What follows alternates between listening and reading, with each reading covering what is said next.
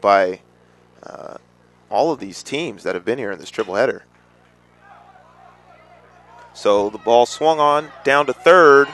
It'll be an infield hit, but Oh, wow. a little bit too aggressive on the base paths again. By